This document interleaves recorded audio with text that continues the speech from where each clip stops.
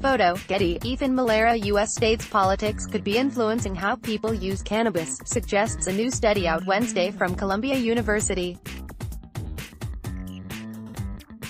It found that liberal states had higher rates of pot use than conservative states, but conservative states had higher rates of harmful, addictive use. These differences could be seen among certain age groups whether a state had legalized the use of pot in any way or not. Currently, the medical use of cannabis is allowed in 33 states, while 10 states, including Michigan and Vermont in 2018, have legalized it recreationally. Plenty of research has been done to figure out whether this growing legalization of cannabis use has affected its popularity. Most of these studies have found that medical marijuana laws have made it more commonly used by young adults, but not kids and teens. The data is less certain about the effects of recreational cannabis laws on youth rates, but a state's pot laws aren't the only thing that could shape our attitudes and behavior surrounding the drug, according to lead author Morgan Philbins, a social and behavioral scientist at Columbia University's Mailman School of Public Health.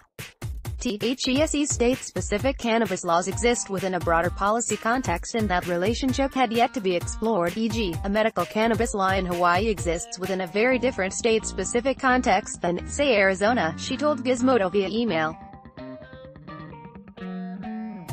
Other work, e.g., on LGBT rights and immigration, demonstrated that the policy climate as a whole can impact individual health outcomes and we wanted to explore if this was also the case for cannabis use. Philbins and her team turned to data from the State Rank on Policy Liberalism Index, a scale developed by political scientist Virginia Gray.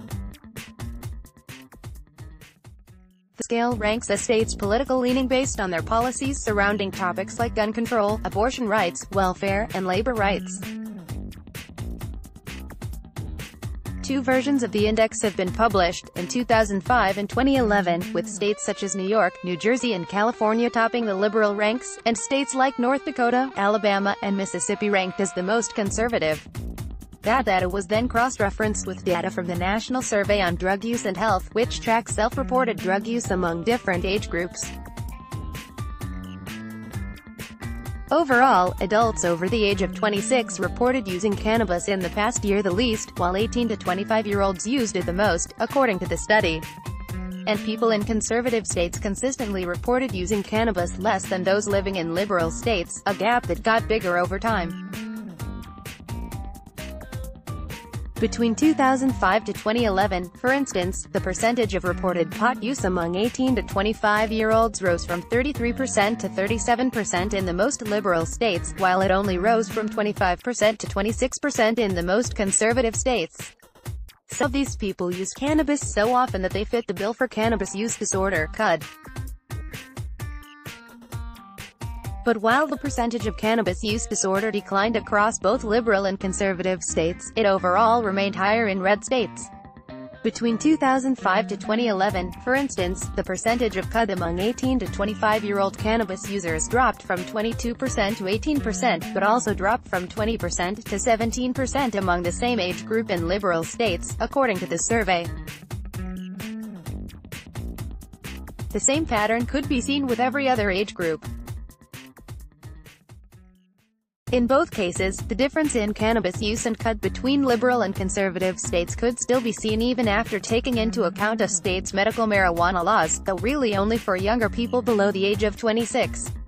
That suggests that other important public health policies are affecting our cannabis habits. But Philbin says there's an important caveat to their findings, published Wednesday in the International Journal of Drug Policy.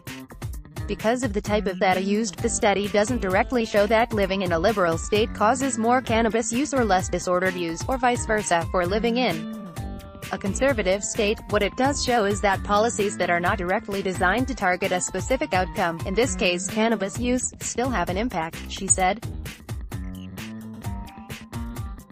This may occur because the broader policy climate impacts individual health by changing the context in which other policies operate, or perhaps make other, more healthier behaviors, the default, so maybe the healthier the average resident is, the team's results could suggest, the less likely they could ever suffer from CUD.